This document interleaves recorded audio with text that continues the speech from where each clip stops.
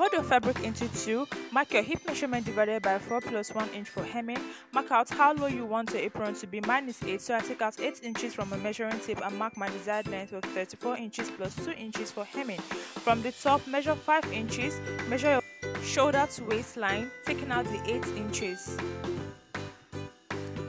Join the lines together and cut it out.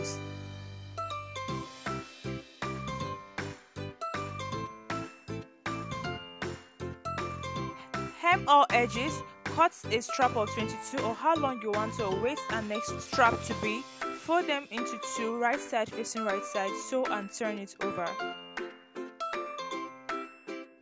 Sew the straps on the fabric and that is it on how to make an apron. Please subscribe for more sewing DIYs.